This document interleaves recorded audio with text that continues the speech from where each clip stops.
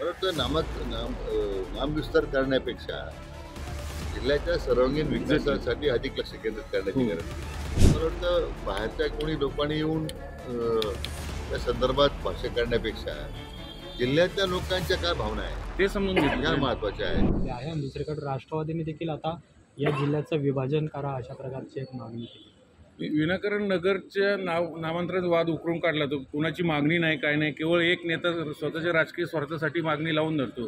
त्यासाठी अध्यादेश काढला जातो शासनाकडनं. कितपत योग्य आहे नगरवासी म्हणून? नामकरणाचा अंतिम निर्णय काय झालेला नाही आहे जसं की अनेक वर्ष संभाजीनगरच्या औरंगाबादला संभाजीनगर नाव देण्यासंदर्भातली चर्चा आपण ऐकतोय. परंतु नामक नाम नामविस्तार करण्यापेक्षा जिल्ह्याच्या सर्वांगीण विकासासाठी अधिक लक्ष केंद्रित करण्याची हो. गरज आहे. जिल्ह्याच्या विभाजनाची चर्चा विनाकारण आपण करतो. असं अनेक जे राज्यातले जिल्हे मोठे आहेत नाशिक जिल्ह्यात विभाजनाचा चर्चा प्रश्न आहे नगर आहे पुणे जिल्ह्याच्या विभाजनाची चर्चा होते. पण जिल्हा विभाजन करून आपण काय साध्य करतोय? ठाणे जिल्ह्यात एक भौगोलिक स्थिती वेगळी होती. कारण पूर्ण एक आदिवासी भाग वेगळा होता. त्याचा पालघर जिल्ह्यामध्ये आपण विभाजन केलं. कारण सात महा सातपेक्षा जास्त महापालिका एका जिल्ह्यात आहे. ठाण्यामध्ये. तशी स्थिती आपली नगरची नाही. आहे हो.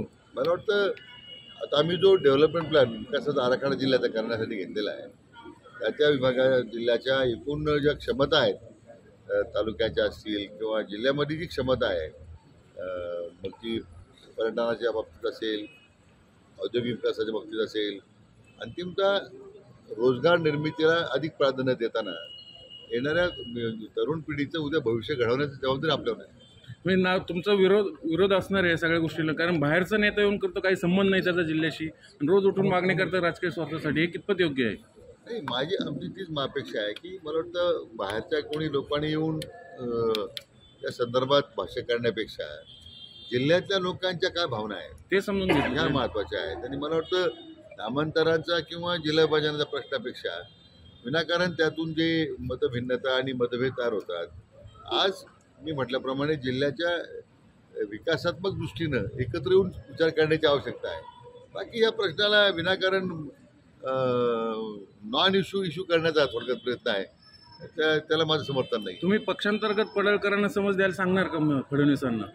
नॉन इश्यू मोठे करतात ते. समज द्यायची आवश्यकता नाही आहे. ते माझे मित्र आहेत त्यांना मी स्वतः त्या संदर्भात बोलेल मी.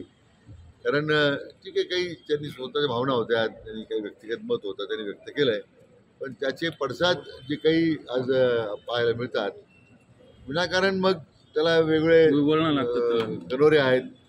त्याला वेगळं वळण लागतं. त्याचं काही लोक राजकीय भांडवल करण्याचा प्रयत्न करतात.